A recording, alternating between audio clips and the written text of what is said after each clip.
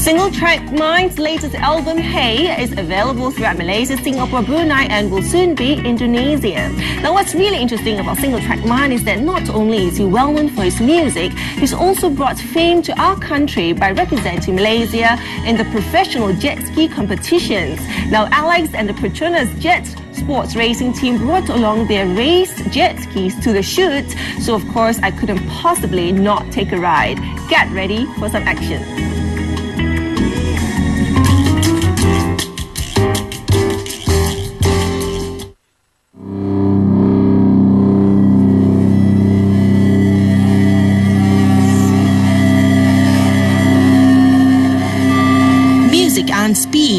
They both have a lot in common, according to Single Track Minds Alex Wong, musician one day and professional jet ski racer the next. Both give him an adrenaline rush and the feeling of complete freedom.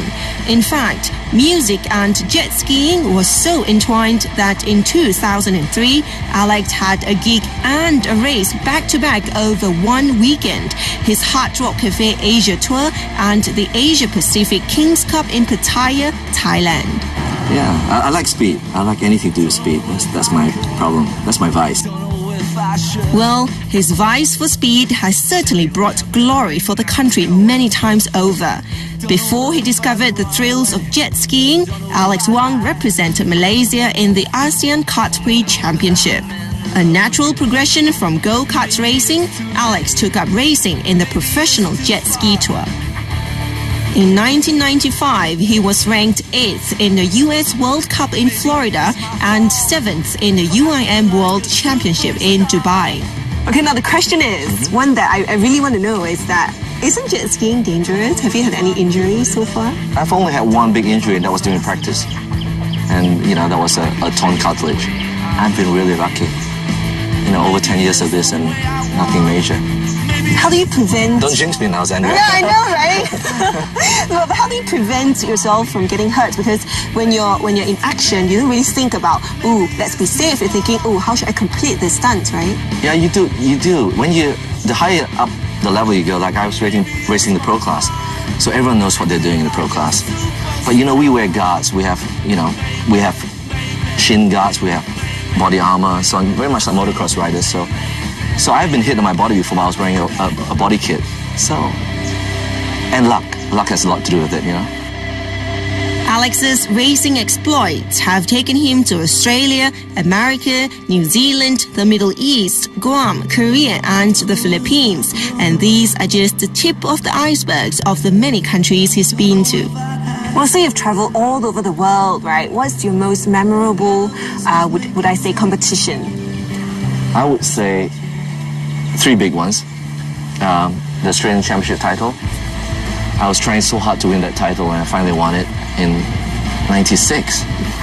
And um, that was the biggest thrill. My family was there, and you know, to hold the number one plate up after trying beating all those Aussies, it was, it was, it was a great thrill.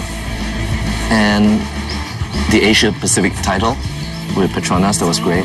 The Petronas Jet Sports Racing Team signed Alex on in 1997 and team principal Encik Abdul Zabidin made him their lead rider.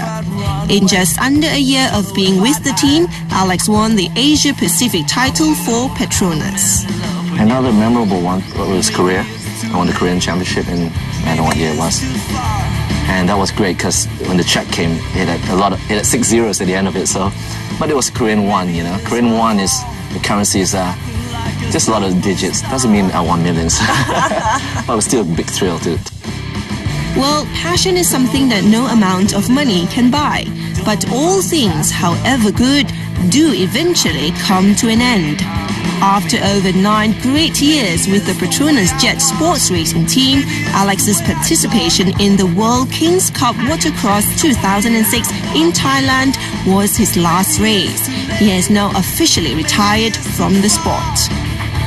So to retire now or to give it up um, professionally racing, would you say that it's a very difficult decision or very bittersweet or are you are you thinking you know what I've been there I've done that I've achieved what I want and it's time to just let go it's hard it's hard I, I, I love everything about racing I love it's not just being on the track and racing I love being with the team you know, the dinners, the hanging out. I love all that. I, I love my helmet. I miss putting this on. I, I love putting this thing on and then getting on the line and the guys are getting me ready, tuning the boat. And you disappear into your own self, your space, and you get ready and you psych up for the race. It's, it's, it's amazing. All right, so what's the biggest misconception about jet skiing? That it's dangerous. Because it's not. If you know what you're doing, it's, it's great. Um, we are Malaysia is like two islands, isn't it? East Malaysia, West Malaysia, and we- we're surrounded by beautiful islands and all that. So everyone should get out on the jet ski and go. The sad thing about it is it's kind of expensive, you know. How much would it be To, to? to buy a jet ski is expensive, but to rent a jet ski, of course, you can do that everywhere in Penang and so on. All the resorts have it. So, All right, what if someone like me doesn't know how to jet ski? well, you know me, so I can always take you out. we should do that soon. I should take you out today. Okay, Can I so convince you to go out on the boat today? yeah, well, you know what? Um, after what he's told me, I'm you know with all the adrenaline and how awesome it is to put this helmet on. So I do think I'm going to give it a try, but you must guarantee that I'll be safe. Okay? I'll guarantee you that you will enjoy yourself. You get a little bit wet, but you enjoy yourself. All right, let's Okay. go.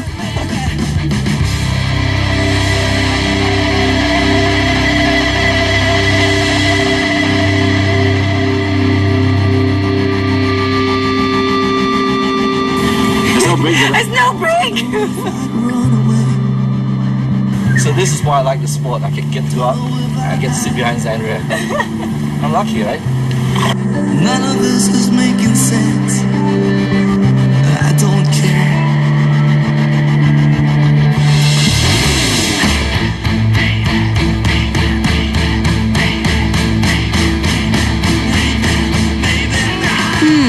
Now that Alex has retired from professional jet skiing, the Petronas Jet Sports racing team must be looking for a new racer. Well, whichever the case, we all know who it's not going to be.